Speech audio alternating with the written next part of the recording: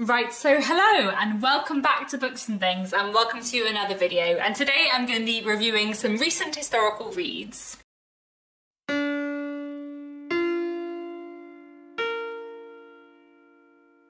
So today I have a couple of works of historical fiction that I read recently which I wanted to review. Um, these are three books that I have read for the Walter Scott Prize for Historical Fiction um, because they're on the long list and I am reading along more or less with the Walter Scott Prize.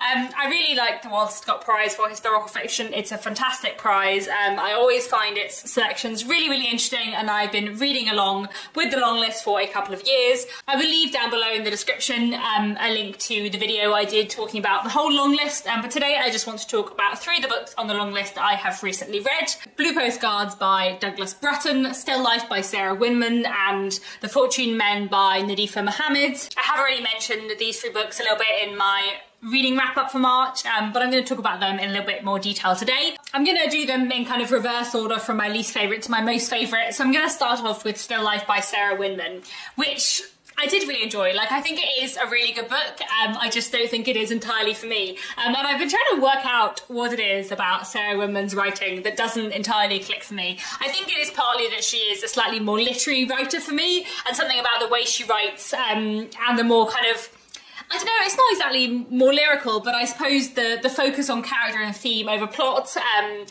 and the kind of meandering way sometimes um, that she writes and the kind of quantity of characters. Something about that means I feel like a little bit of an emotional distance, I suppose. I don't know. I've read one other book by Sarah Winman, Tin Man, which I read a few years ago. I think I like Tin Man more than Still Life, but I also sort of feel like I had very different reading experiences of them because Tin Man I went into with hugely high expectations because everyone on BookTube at the time was absolutely loving it. Um, and I really, really liked it. I, I thought it was a great book, but I was kind of expecting it to like emotionally destroy me because I feel like that's everyone, what everyone had said around me. But it didn't quite have the same impact on me, I suppose. Um, like I really loved Tin Man, but it was very much like a four star rather than a five star read for me.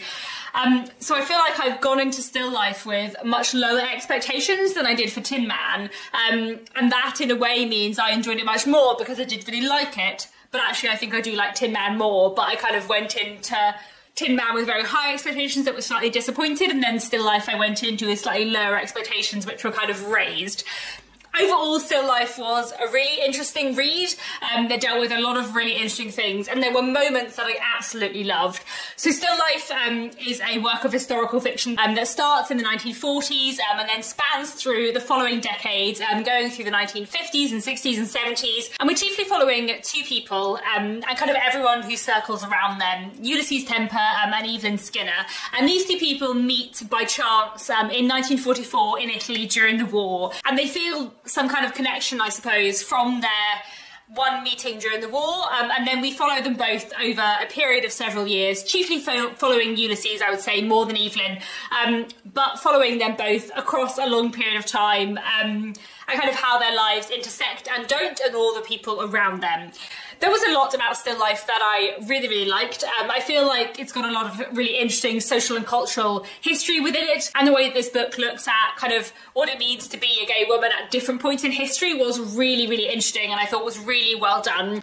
I really liked a lot of the characterization. Um, Ulysses and Evelyn are fantastic, but also the character of Alice. I really liked the character of Peg. I thought was really well done. Sarah Winman can clearly write really wonderful characters that really leap off the page. The book is set between Britain and Italy um, and focuses a lot on kind of Florence as a city um, and the way that it kind of explores these two very different places, I suppose, and two very different cultures was really interesting. There were some really wonderful moments in this book, and my favourite kind of section of the whole of it was the last kind of I don't hour of the audiobook, which was um, where we kind of flashed back from um, the bit of time we were in to the very early 1900s, um, following Evelyn as a young woman. And I just love that section so much. And I kind of wish the whole book had been that section, which kind of brings me on to explaining why I don't think this book completely worked for me. I think part of it is because I just wasn't as interested in all the history. Um, and there were some elements of the history I thought were really interesting, um, and I kind of enjoyed the 1940s and 50s bits more. Um, but actually, I just don't think I'm as interested in the 1960s and 70s as I am in the 1900s. Um, and that section at the end of the book, which was about Evelyn in Florence in kind of 1900 I can't remember which precise year it was, um, but I love that section so much, and I think my own personal kind of historical interests kind of wish the whole novel had been that. So there's that element, um, which is, you know, entirely personal taste. And on another note, of also personal taste, I think Sarah Winman is possibly just a bit literary for me, in that the book is very, very character and theme focused um, and not very plot focused. Um, and dramatic things do happen, but it feels quite meandering. Um, there are an awful lot of characters, and sometimes I did lose track of some of the side characters.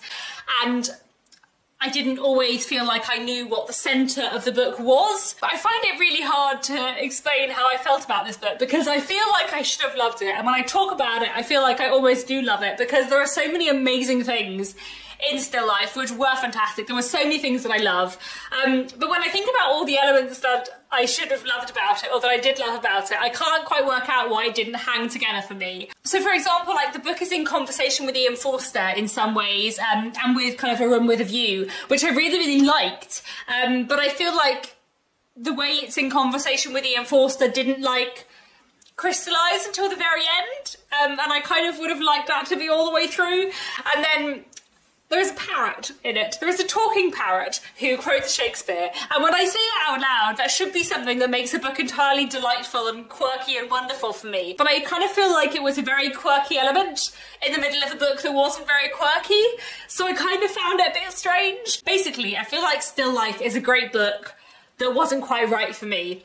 Um, so I kind of recommend it, but possibly if you're into slightly more literary fiction than is my general taste, it was really interesting, and there were things about it that I liked, but it just didn't quite, yeah, it wasn't quite right for me. The next book I have to talk about is Blue Postcards by Douglas Bruton. This is interesting because on paper I should have enjoyed Still Life much more and when I was talking about Still Life I feel like I have a lot more to say about Still Life and that I kind of found it a more interesting book but I kind of enjoyed Blue Postcards more even though it's like quite wacky and odd and in some ways more literary than Still Life but I don't know. Anyway, anyway, Blue Postcards um, is this kind of experimental novella where everything is written in the form of postcards. And so the book is made up of a hundred kind of short paragraphs, all of which could, I suppose, technically fit on a postcard. And we're hearing the story of um, various characters in Paris after the Second World War through to the present day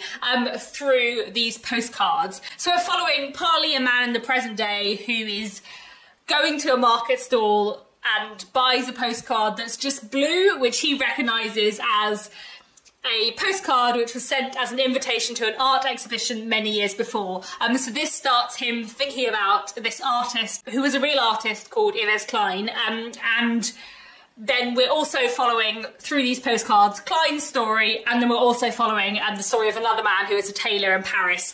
Um, and these kind of three men, their lives kind of cross over and interweave in some strange fictional way. And the novella is kind of about art, and it's kind of about like fiction and what is real and what isn't real because the narrator feels quite unreliable and you kind of get the sense that the man in the present is telling the story of the two men in the past and you don't know how much he really knows about them. Um, and it's kind of weird and meandering, but also sort of delightful. And I just really enjoyed the reading experience of it. It's very short. I read it in one sitting. It only took me two hours, and it is definitely more experimental and literary than the kind of book that I usually like. But I also just quite enjoyed something about it. I suppose it's one of those books that, although it was quite like experimental, it was very like self-consciously experimental and very, very self-aware um, of its kind of existence as a work of fiction, which was just something that I quite enjoyed and meant it was almost like straightforward in its experimentalness. I don't think that makes any sense, um, but you know, maybe if you go and read it, you'll understand what I mean. It was a really interesting read, um, and yeah, I really enjoyed it. I would say though, I was thinking about like the Walter Scott Prize for Historical Fiction. I wonder when they make their long list and when they make their short list, I wonder if they feel like they are assessing novels as novels that happen to be historical, or whether they're assessing like historical novels. I'll try and explain what I mean because I feel like Blue Postcards was a really, really interesting book, but I don't really feel like it was engaging with history. It is a historical novel in the sense that parts of it take place in the past, but I don't think it was really a book that was about the past, whereas Still Life is definitely a book that is about the past. So I feel like Still Life is a better work of historical fiction than Blue Postcards, but I think I slightly enjoy Blue Postcards more. So if I were kind of comparing them as novels, I would, you know, place Blue Postcards above Still Life. But if I were comparing them as works of historical fiction, I would place Still Life above Blue Postcards. So I wonder how they think about it when they judge the Walter Scott Prize, because it is a prize for historical fiction. But it, it, does that just mean that only historical fiction is allowed in it, or does that mean that you judge it on the basis of how historical it is. I don't know. Anyway, that was a tangent. Let me move on to the next book, which is The Fortune Men by Nadifa Mohamed. This is a really interesting historical book that I really liked. Um, so this is set in 1950s Cardiff, and we're following what happens when a Somali man, um, Mahmood Mattan, um, is accused of the murder of a Jewish woman, Violet. And the novel is about this murder, the murder trial, um, and these characters and everyone that surrounds them in this community of Tiger Bay. It's a book that is very much about prejudice, about xenophobia and racism, how the community turn against this man uh, and how they believe him guilty without very much evidence. And I would say kind of at the centre of the book is his relationship with his wife Laura, um, who is a white Welsh woman, um, and their kind of connection with each other and with their children. Um, they've had a very kind of strained relationship in some ways, um, but everything that is kind of going on kind of brings them back together. And, and I thought their relationship was drawn incredibly. Um, it felt really, really real. And that was probably maybe my favourite element of the book. And although I feel like there was so much in this to really, really admire, I feel like the way this book explores its themes is fantastic. It looks at a lot of very serious, hard-hitting things. Um, it is based on a true story as well. And I feel like the way this book looks at the kind of complicated social and cultural structures and issues of this point in time um, of Britain in the 1950s is done really, really well. I think this was a really strong read and my favourite of the ones so far. And in some ways it is quite literary and in some ways it is kind of focused on its themes and its characters, but because we have the murder case as this kind of thread pulling us through the story that kind of makes it feel pacey throughout um, and it's just a really good read. So it's definitely one that I would recommend um, and well worth a read. So those are the three books I've read in the last month um, that are on the Walter Scott Prize long list. I have also read from the long list Mrs England by Stacey Halls which I read ages ago. Um, I used to work at the publisher so I worked on Mrs England. Um, and I love Mrs England very much. It is still my favourite to win. I still do like it more than the three books um, I've talked about today both I think in a slightly biased way because I worked on it and I and I love it um, from an editorial publishing perspective, um, but also I think just because I do I do love it. Like even as a reader, if I hadn't worked on it, I think I would still love Mrs. England more than the three books I've spoken about today. But it's been really interesting to read four books from the long list so far. Um, I have enjoyed all of them. I feel like I've been quite hard on Still Life today. I did actually really like Still Life. Um, I just didn't completely love it. I'm very interested to see what will be on the shortlist for the Walter Scott Prize. I think it will probably be announced in the next couple of weeks.